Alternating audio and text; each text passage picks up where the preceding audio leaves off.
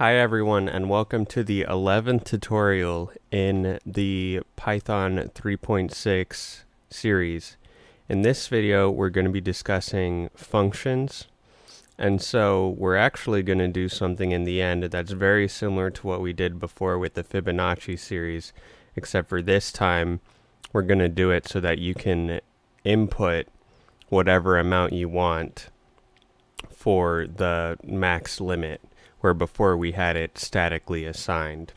So first I'm just going to define a basic function so that I can show exactly what we're dealing with. So basically the way you start it off is you do def and then whatever you want your name of your function to be and then this is going to be an argument that's like your input. The way functions work is sort of like if you ever did it in grade school where you have like a chart and you have your input x's and you have your output y's. And so it might have been like input 4, output 6, input 6, output 8, and something like that. And so they would have that entire chart and then you had to fill in the blanks. It's kind of like that, except for you're defining what the function is. So if I just do something like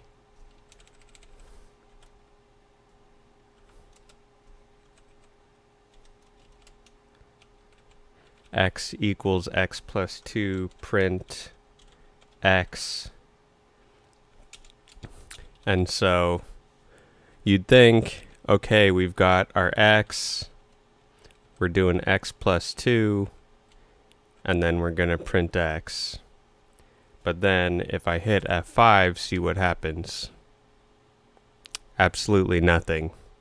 So turns out that we need to actually call our function and we can do something like this where we do we just type in add to and then we can put in whatever number we want. So let's say 3 and so we get 5 like we expect. That's how a function works. And so now we can move on to the Fibonacci series which is just going to be a little bit more complex. And so we're going to define our Fibonacci function again. And this time we're going to do it just like we did before with the simultaneous assignment. A becomes 0, B equals 1. And then after that we're doing a while loop. And so a is our starter value that's starting at 0. And then x is going to be our max limit. That's the largest number that we're going to look at when we're doing the Fibonacci numbers. And what this is right here is it's going to print A every single time. And it is print is actually a function of its own.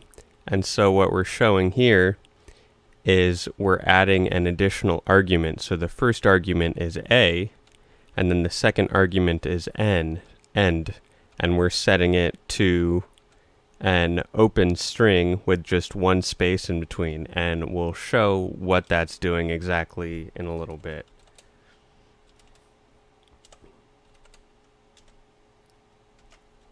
And so this is exactly like we did last time we did the Fibonacci series where A becomes the previous term and B becomes A plus B. After that, what we're going to do again is we are going to call the function and we're going to set the maximum to 2000 or the argument is going to be 2000. And so you can see it prints it out all correctly up to 1597 because if we add an additional number, it overflows past 2000. and so back to this print statement. Normally, let's see what happens if we remove this. See, now they're all vertical. They're all, they each have a new line. So what we're actually doing with this is normally what end does end is normally end is normally this. That's the default. And so we see it does all new lines, but if we clear that out, then we make it so it's just a space. And so end is basically what you do at the end of each input. So the normal thing is to make it a new line every time, but we can change it so that it's just a space. So now I'm going to show you a little bit about what is really going on with this stuff. So if I type in print fib, what do you think is going to happen? Well, actually what happens is it prints out this weird thing. And basically what that is, is that's the object which stores what the function means. And so we can also do reassignment. So let's say we don't want it to be called fib anymore. We can just do f equals fib. And then we could do f 2000 and we'll get rid of this for now. And you can see it does it again. F became fib just using F equals that. And so let's say we want to, let's try F with 100 inside. So what do you guys think is going to happen this one? Because it's f of 100, or f with the argument 100, and then we're printing it out. So you think it might output what the function is outputting or something like that, but that's actually not what happens. It prints none because that's just the way that functions and printing works.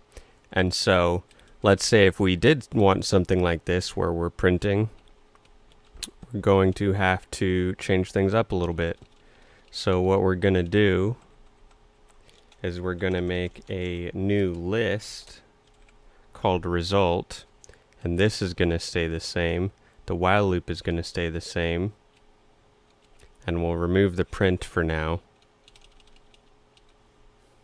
And what we're going to do is every single round we're going to add in the the previous um, A and we're just going to append it to the list so we can store it for later. And then what we're going to do at the end is we're going to return the list. And so what this means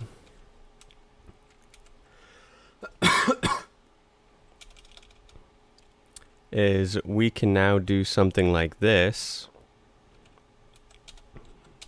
where instead of needing to do print or needing to put a print inside of the function we can just do f of 100 or f with the argument 100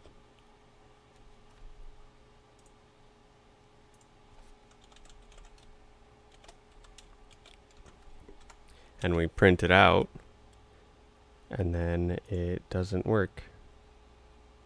Give me a second.